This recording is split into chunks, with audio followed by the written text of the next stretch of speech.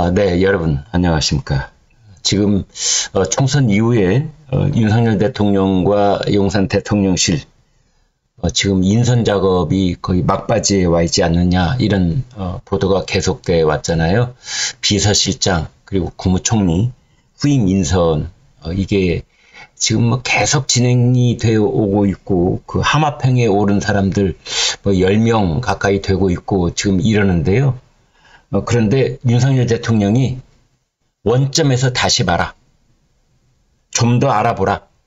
그래서 지금 그 지금까지 거론됐던 인사들 말고 또 다른 인사까지를 더 폭넓게 아울러서 포함시켜라. 지금 이런 움직임이 새로 감지되고 있습니다. 어, 후보군의 폭을 넓혀라. 그래서 적임자를 더 물색해야 된다. 이렇게 되어 있습니다. 어, 지금까지는 국무총리 후보로 1순위가 권영세 전 통일부 장관, 그리고 비서실장은 원희룡 전 국토부 장관, 뭐 이런 얘기가 가장 많았었는데 전부가 원점에서 재검토되는 기류다. 이렇게 볼 수 있겠습니다. 어, 윤 대통령은 이제 윤 인선하고 관련해서 어, 후보군을 더 넓혀라, 더 알아봐라. 지금 이렇게 얘기를 했고요.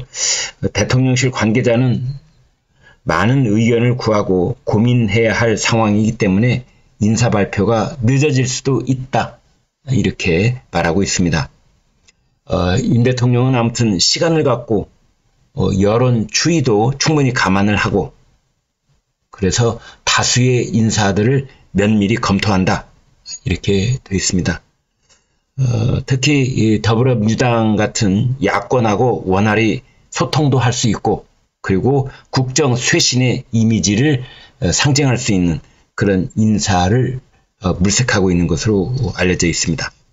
지금 거론되는 이름들은 김한길 국민통합위원장, 어, 이정현 호남 출신 어, 전 의원, 그 다음에 뭐 주호영 어, 국민의힘 의원, 박주선 어, 전 국회 부의장 뭐 이런 얘기들이 나오고 있습니다. 또 총선 불출마를 선언했던 장재원 의원, 또 이번 총선에서 패한 정진석 의원, 뭐 이런 이름들도 나오고 있지요. 어, 여권의 고위 관계자는 이렇게 말했습니다. 지금까지 이름이 거론되지 않은 전혀 새로운 인사가 발탁될 가능성도 배제할 수 없다. 이렇게들 얘기를 하고 있습니다. 어, 용산 대통령실에 지금 비서실장을 포함해서 전원이 일괄 사퇴를 밝힌 것으로는 돼 있는데 안보 라인은 어, 유임을 하고 그 다음에 성태윤 정책실장, 박상욱 과학기술수석, 장상윤 사회수석 어, 여기는 유임되는 것이 아니냐 어, 이런 얘기도 나오고 있습니다. 어, 이런 상황 속에서 지금 이제 어, 총선 참패 수습에 나선 국민의힘 어, 일단 비상대책위원회를 꾸리는 것으로 그렇게 가닥을 잡았습니다. 비상대책위원회를 꾸려서 관리를 한 다음에 그 다음에 전당대회를 갖는다 이렇게 되어 있습니다. 어, 제 국회에서 4선 이상 중진 당선자들과 아, 간담회가 있었지요. 그리고 어, 오늘 이제 당선자 총회를 열어서 최종적인 방향을 결정을 짓습니다. 그런데 비상대책위원회를 이제 구성을 하기는 하는데 조기 전당대회 준비를 위한 임기 2개월 내지 3개월 정도의 실무형으로 가져갈 것이냐 아니면 적어도 6개월 이상 관리형 비상대책위원회로 갈 것이냐 뭐 이런 의견은 지금 엇갈려 있다고 합니다. 아무튼 윤 대통령 이제 16일 국무회의 주재하면서 그 어, 모두 발언으로 이번 총선 결과에 나타난 민심에 대한 자성 입장을 밝히고 또 어, 집권 후반기 어, 핵심 관건인 야권과의 협치에 대한 얘기를 어, 밝힐 가능성이 높습니다. 어, 그렇지만 여야 영수회담 또는 여야 지도부 회동은 어, 지금 용산 대통령실 어, 내부가 정비되어 있지 않은 만큼 당장 성사될 가능성은 적다. 이렇게 보면 어, 되겠습니다.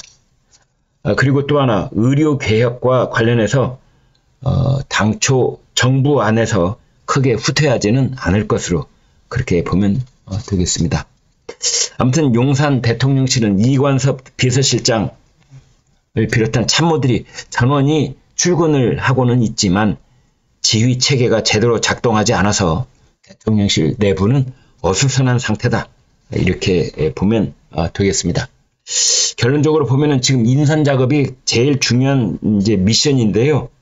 비서실장에는 정무형, 총리에는 여야 협치형 어, 이런 대전제 조건을 걸고 인선을 하고 있는 것으로 그렇게 보면 되겠습니다. 그래서 아까 말씀드린 그런 인물들은 자기 의사와는 관계없이 일단 언론의 하마평이 오르내리고 있다. 이렇게 보면 되겠습니다. 어, 또 하나는 지금 대통령실의 조직 개편이 있는 것이 아니냐 이런 얘기가 나오고 있습니다. 민정수석실이 부활될 수도 있고 어, 법률수석실이 신설될 수도 있다. 아, 이런 얘기가 있는데 그 또한 비서실장을 임명한 이후에 본격적으로 논의를 할 수 있을 것이다. 이제 이런 얘기가 있습니다. 그렇지만 민정수석실 부활 또는 법률수석실 부활 이런 것은 어, 국정 쇄신에 적합한 방향이 아니다. 뭐 이런 내부 비판도 있는 것으로 알려져 있습니다. 어, 이런 와중에 더불어민주당 이재명 대표는 어, 비서실장, 국무총리, 하마평에 대해서 면면을 보니까 대통령께서 과연 총선 민의를 수용할 생각을 갖고 계신지 우려된다. 뭐 이런 반응을 내놓고 있습니다. 어, 총선이 끝난 지 이제 일주일째 접어들고 있는데 아무튼 어, 당정은 안미 상태에 빠져 있다. 이런 톱 기사를 동아일보가 아, 일면 톱으로 보도를 했습니다. 총선 참패 6일째 안음이 당정 사뭇 비판적인데요. 어, 일단 국민의힘 예, 총선 패배 수습을 위한 인적 쇄신, 당 체제 정비, 어, 실마리를 아직 찾지 못하고 있는 혼란한 상황이다. 아노미 상황이다. 어, 대통령실에서도 비서실장, 국무총리 인선 어, 결말이 이, 지금 나오지 않고 있다. 어, 그리고 어, 국민의힘에서는 참패 원인 분석은 물론 이려니와 구체적인 당 쇄신의 첫 발자국도 떼지 못했다. 이제 이런 상황 속에서 더불어민주당은 어, 최상병 사망 사건 외압 의혹 특검법을 5월 2일 날 본회의 처리를 하겠다. 이런 방침을 재확인하고 있고 그리고 더더군다나 특검법 수사 대상에 윤 대통령이 포함되어 있다. 이런 말까지 지금 꺼내놓고 있습니다.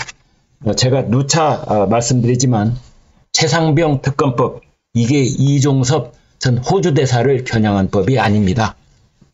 최상병 특검법은 윤석열 대통령을 예, 정조준하고 있는 그런 특검법이라고 보면 되고 그것은 곧 윤석열 대통령에 대한 탄핵 소추 그 가능성과 연결되어 있다 이렇게 보면 되겠습니다.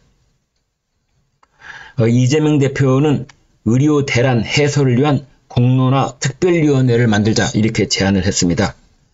여, 야, 그리고 정부, 그리고 의료계, 시민사회 이런 다섯 곳이 참여하는 보건 의료계 공론화 특별위원회를 구성하자 제안을 했습니다. 그런데 대통령실에서는 어, 정부가 이미 국민 의료계 정부가 참여하는 사회적 협의체를 제안한 바 있다 라면서 일단은 부정적인 입장을 우회적으로 드러냈다고 볼 수 있겠습니다. 어, 이재명 대표는 아울러서 특정한 숫자 2천명의 집착을 버려야 한다 라고 정부에 요구하는 한편 의사들한테도 즉각 현장에 복구, 복귀해야 된다. 이렇게 재촉을 했습니다. 그런데 지금 문제는 전공의들입니다. 전공의들 1360명이 복지부 장관과 차관을 고소를 했습니다. 그래서 특히 복지부 2차관 박민수 경질하지 않으면 복귀는 없다. 뭐 이런 주장을 펼치고 있습니다. 그래서 신문들이 전공의들이 명분 없는 고소전을 펼치고 있는 것 아니냐 이렇게 지금 비판을 하고 있습니다. 정책 공방 대신에 감정 표현을 하고 있는 것 아니냐. 정부에서는 왜이 장차관 경질하고 의사들 현장 복귀를 관련 짓느냐 이해할 수 없다. 이런 얘기를 하고 있습니다. 이번 총선 결과 뭐 여러 가지 통계 숫자가 나오고 있는데 그 중에 하나가 눈에 띄는 것이 법조인들이 역대 최다를 기록하고 있다. 법조인 출신이 이번 총선 당선자 중에 60명이나 된답니다. 그런데 놀라운 것은 여당은 19명, 야당은 41명, 두 배 이상이다. 이렇게 나와 있습니다. 또 경찰 출신 당선자도 있는데 경찰 출신도 역대 최다 10명을 기록했습니다. 그래서 법조인 또는 경찰 출신이 전체 의원들 중에 23.3%를 기록을 했습니다. 과거에 국민의힘 계열 쪽에 법조인들이 많아서 뭐 법조당이다 또는 육법당이다 이런 말을 했거든요. 육법당은 육사 출신, 법조인 출신 이걸 합해서 육법당 이런 말까지 했었는데 이제 그 말을 야당에게 넘겨줘야 될 것 같다. 지금까지 예, 민주당은 여당을 향해서 검찰 독재 뭐 이런 비판을 요란하게 떠들어왔는데 이젠 법조당 타이틀까지 야당이 찾아간 것 아니냐 이런 말이 지금 오늘 조선일보 8면봉 그 짧은 천평에 예, 그렇게 비판을 하고 있네요. 경찰 출신이 10명이라고 그랬는데요. 국민의힘에 7명 압도적이죠. 민주당에 2명, 조국 혁신당에 1명 이렇게 되겠습니다. 네, 여러분 고맙습니다.